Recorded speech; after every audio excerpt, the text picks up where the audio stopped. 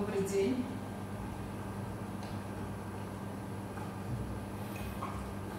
Тема сегодняшней лекции – хроническая обструктивная болезнь легких. А, дальше мы знаем, что а, хроническая обструктивная болезнь легких, бронхиальная астма является самыми распространенными заболеваниями респираторной системы, где наши врачи общего профиля, поликлинические врачи, стационарные врачи повседневно связываются. Дальше, пожалуйста. По данным статистики, Хоббл встречается от 10 до 4, до 10% взрослого населения. Распространенность в Европе составляет 7,4%. Летальность от заболеваний Хоббл до 10%. Хроническое обструктивное заболевание легких. Что это такое? Характеризуется не полностью обратимым ограничением проходимости дыхательных путей, которое прогрессирует и ассоциируется с необычным воспалением ответа легких на вредные частицы или газы, в основном связанные с курением.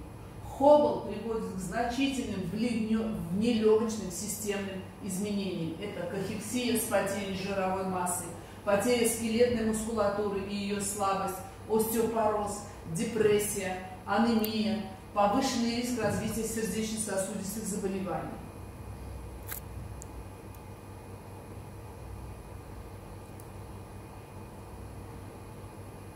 Согласно глобальной стратегии диагностики и лечения, хроническая обструктивная болезнь легких – это заболевание, которое характеризуется проявлением хронического обструктивного бронхита и эмфиземы легких в разных соотношениях.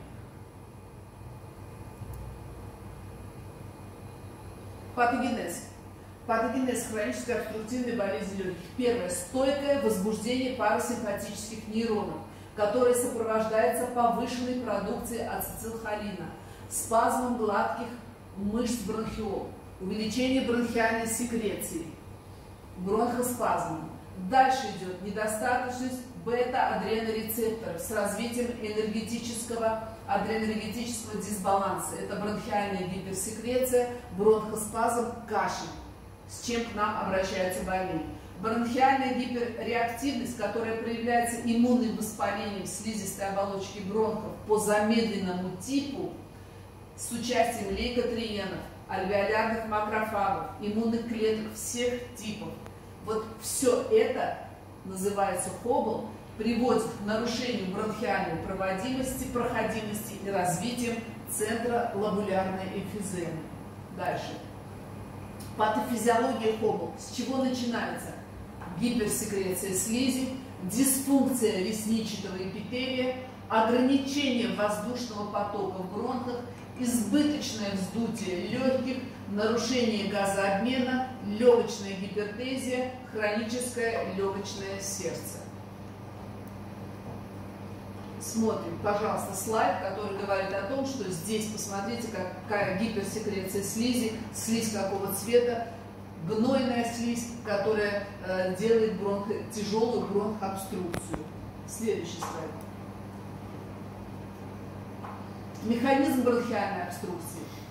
Хоббл, бронхоспазм здесь является очень стойким, возникает в результате повышенного холинергического тонуса бронха требует большей частоты дыхания, чтобы обеспечить оксигенацию крови. При этом больной не успевает выдыхать то количество воздуха, которое вдохнул. В итоге в легких происходит избыточное накопление воздуха. Растет остаточный объем легких и их общая емкость. Она усиливает одышку, усиливает тотальную гипоксию. Дальше. Так, следующий слайд. Смотрим. Обычно, когда мы говорим о Хоббл, мы говорим о курящих людях, о курящих мужчинах. Вот нормальный бронх, вот его диаметр, его проходимость. И вот бронх, пожалуйста, с этой бронхообструкцией, где очень-очень много слизи. Бронх изменен. То же самое касается альвеол. Нормальная альвеола, красивая гроздь винограда. И вот эмфизематозная альвеола, которая полностью закрыто воздухом, и здесь не происходит газообмен. Деструктивные изменения в легких – это нормальные легкие, а здесь эмфизематозные легкие, где практически нет легочной ткани. Жалобы при. А в основном две жалобы – кашель и мокрота. Мокрота различного характера и кашель тоже различный. Дальше еще идет одышка, это уже прогрессирующая одышка, она усиливается постепенно, она тревожит больного, в конечном итоге она заканчивается тем, что у больного развивается хроническое легочное сердце. Клинические формы – бронхитическая, эмфизематозная и смешанная. Бронхити, бронхитическая, бронхитическая в основном доминирует кашель, да, диффузный цианоз, бывает у молодых, полных людей, очень часто заканчивается смертью в молодом возрасте, да, эмфизематозная, здесь доминирует одышка, кожные покровы розово-серые, хроническое легочное сердце, больные до преклонного возраста живут, но уже кахектичные, обычно это курильщики, тяжелые курильщики. Смешанная форма – это и то, и другое. Пожалуйста, бронхитическая форма э, Хоббл и физематозная форма Хоббл. Физикальные признаки. Наиболее характерными у больных с тяжелым течением это центральный цианоз, синюшность слизистых, большая бочкообразная грудная клетка, участие в дыхании вспомогательной мускулатуры. Дальше, при аускультации, ослабление сердечных тонов, свистящие хрипы, различные свистящие сухие хрипы. Симптом барабанных палочек. Протокол обследования. Обязательно у больных Хоббл исследуем функцию внешнего дыхания, бронходилатационный тест, цитологическое исследование мокроты, показатели гемограммы, рентген, ЭКГ, исследование газов крови. Исследование функции внешнего дыхания. Исследование функции внешнего дыхания мы делаем всем больным с подозрением на Хоббл. И чтобы знали стадии Хоббл, мы им делаем спирографию. На спирографии форсированную жизненную емкость легких определяем, объем форсированного выдоха за первую секунду, соотношение этих двух измерений и пиковая объемная скорость выдоха. Дальше, при тяжелых случаях остаточный объем. Вот спирограмма посмотрим. Больной нормально дышит, потом он делает глубокий вдох, глубокий выдох и обратно нормально дышит. Мы смотрим объем форсированного выдоха в первую секунду. Объем форсированного выдоха в первую секунду меньше 80% свидетельствует об обструктивных нарушениях легких. И степень выраженности сперметрических нарушений отображает всегда степень тяжести Хоббл. Пикфлометрия тоже один из методов, если нет спирографии.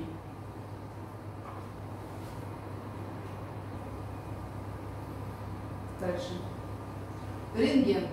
Легкие обычно большого размера, низкое состояние диафрагмы, легкие большого размера, потому что эмфизематозные, узкая тень сердца, увеличенное ретростернальное воздушное пространство, иногда определяются эмфизематозные булы. Пожалуйста, рентгенография. Огромные легкие, они даже не помещаются на рентгенограмме. Бронходилатационный тест. Что это такое?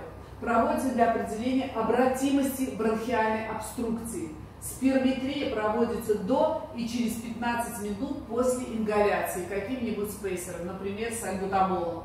Например, мы снимаем эту спирографию, э, смотрим э, цифру ОФВ-1 и дальше даем эм, сальбутамол, и через 30-45 минут после ингаляции опять смотрим данные по ОФВ-1.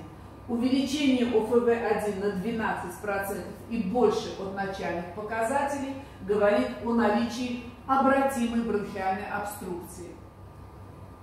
Показатели гемограммы. Обычно это нейтрофильный лейкоцитоз с палочкой ядерным сдвигом, увеличение сои. Для выявления полицитемического синдрома, который формируется с развитием гипоксии, обязательно будет увеличение эритроцитов, гемоглобина и гематокрита. Дальше. Диагностические критерии Хоббл. Первое. Наличие у больного типичных факторов риска. В первую очередь курение. Да? В первую очередь курение. Как можно выявить, это фактор риска для больного или нет? Учитывается индекс курения. Индекс курения выражается в пачка годах. Это число сигарет, которые выкуривает больной в сутки, умножается на стаж курения да, и разделено на 20. Индекс курения больше 10 пачек годов является уже достоверным фактором развития холода. Длительное действие профессиональных раздражителей, респираторные инфекции, особенно перенесенные в детском возрасте коклюш и облитерирующий бронхит, наследственная склонность, нарушение бронхиальной проходимости, которое неуклонно прогрессирует, исключение других заболеваний, то есть рак, туберкулез, бронхоэктатическая болезнь и так далее. Дифференциальная диагностика с бронхиальной астмой, с хроническим необструктивным простым бронхитом, бронхоэктатическая болезнь, туберкулез, идиопатический фиброзирующий альвеолит, тяжелое заболевание легких, очень быстро приводящее к летальному исходу, заболевания сердечно-сосудистой системы, которые сопровождаются одышкой, то есть ХСН, хроническая сердечная недостаточность. Рак легких, пожалуйста рак легких, который тоже уже поздно диагностирован, вот рентгенография. Фиброзирующий альвеолит.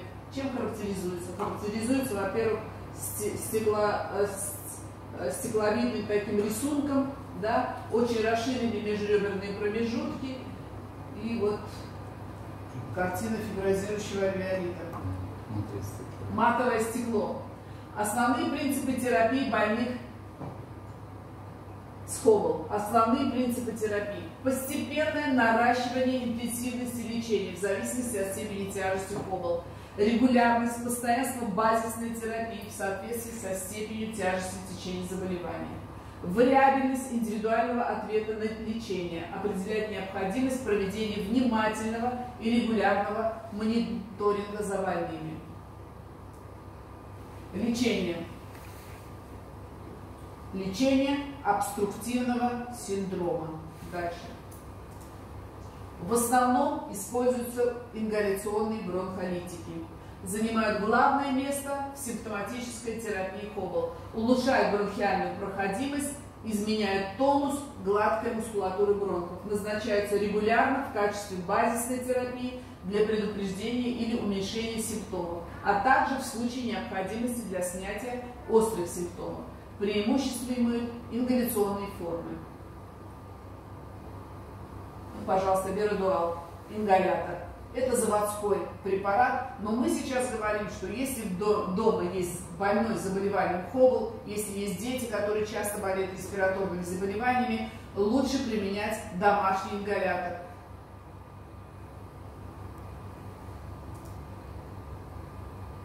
Какие препараты используются в небулайзерной терапии? Препараты, применяемые в небулайзерной терапии, это и адреномиметики, глюкокортикостероиды, комбинированные средства для терапии бронхообструктивного синдрома, муколитики, отхаркивающие препараты, противокашлевые, антигистаминные препараты, препараты легочного сурфактанта, стимуляторы дыхания, противотуберкулезные препараты, антимикотические и антимикробные. Заболевания органов дыхания, когда используется небулайзерная терапия, это бронхиальная астма, хронический обструктивный бронхит, бронхит простой, пневмония, обычная простуда. Противопоказания к небулайзерной терапии – легочные кровотечения и рецидивирующее кровохарканье, травматический спонтанный пневмоторакс на фоне эмфиземы легких, сердечная аритмия, тяжелая сердечная недостаточность, индивидуальная непереносимость ингалируемого препарата. Нельзя использовать для небулайзера масляные растворы, отвары трав, растворы системных глюкокортикоидов и теофилин. Иофилин, который нужно применять внутривенно, он должен применяться строго внутривенно. Клинические преимущества небулайзерной терапии. Возможность длительной экспозиции. Фракция препарата, оседающего в ротоглотке, незначительна. Уменьшение общей дозы. Отсутствие системного действия препарата. Аэрозоль не содержит пропилентов. комфортное использование. Особенно это касается детей, которые могут в любое время применять и потом отменять препарат. Посмотрим ингаляционные бронхолитики какие. Ну, всем известный сальбутамол, конечно, короткого действия и фенотерол. Это бета-2 агонисты короткого действия. Имеют сравнительно быстрое начало, действуют 4-6 часов. Б2 агонисты пролонгированного действия, это сальмитерол. Дают более сильный эффект, действуют 12 часов и более. Дальше. Ингаляционные холинолитики первую очередь это атропин, ипротропиум бромид и бердуал. Характеризуется дозозависимым эффектом с более медленным началом и большей длительностью действия, чем B2 агонисты короткого действия. Пролонгированный препарат тиотропиум бромид спирива селективно и длительно связывается с М3 и М1 холинорецепторами и достаточно длительно действует. Инфекционный бронхолитик B2 агонист пролонгированного действия сальмитерол. Он более длительного действия, чем короткий сальбутамол, уменьшает нейтрофильное воспаление, отек слизистой оболочки, уменьшает мукоцеллярный клиренс, улучшает цитопротекторное действие. Дальше. Глюкокортикостероиды. Конечно, в тяжелой форме Хоббл на третьей-четвертой степени развития показаны и пероральные глюкокортикостероиды, в частности преднизолон 30-40 мг по схеме, но может быть использован и в качестве ингалятора. Дальше. Ингаляционные глюкокортикостероиды бекламетазон, будисонид и флутиказон назначаются в базисной терапии и в случае обострения в высоких дозах. Следующий слайд. Противовоспалительные средства нестероидного, это э, мы знаем, это НПВС назначается при нетяжелых обострениях и в составе базисной терапии на протяжении 2-5 месяцев после обострения ХОБЛ второй-третьей степени. Противогриппозная вакцинация тоже может проводиться один-два раза в год весной и осенью. Рекомендуется назначать пациентам с частыми обострениями. Антибиотики показаны только в случае доказанного инфекционного обострения ХОБЛ. Этапы лечения ХОБЛ. Начинаем атравен или окситропиум бромид, оксивен. Дальше атравен или оксивен плюс стимуляторы бета-2 адренорецепторов, фенотироль, сальбутамол, сальметирол или комбинированный берадуал. Добавить теофилины пролонгированные, это теотар, теопек, добавить ингаляции глюкокортикостероидов, ингокорт, флуцолит, бикотит и добавить короткие курсы таблетизированных глюкокортикостероидов. Цель наша. Цель наша э, при лечении ХОБЛ, чтобы меньше было обострений, чтобы больной меньше обращался в поликлинику, чтобы больной знал, когда при обострении что нужно употреблять, когда нужно употреблять препараты э, для небулазерной терапии короткого действия, длительного действия, когда можно уже употреблять и нужно употреблять гормональные препараты. Вот это наша с вами цель. Избавиться, очистить бронхиальное дерево от мокроты. Спасибо за внимание.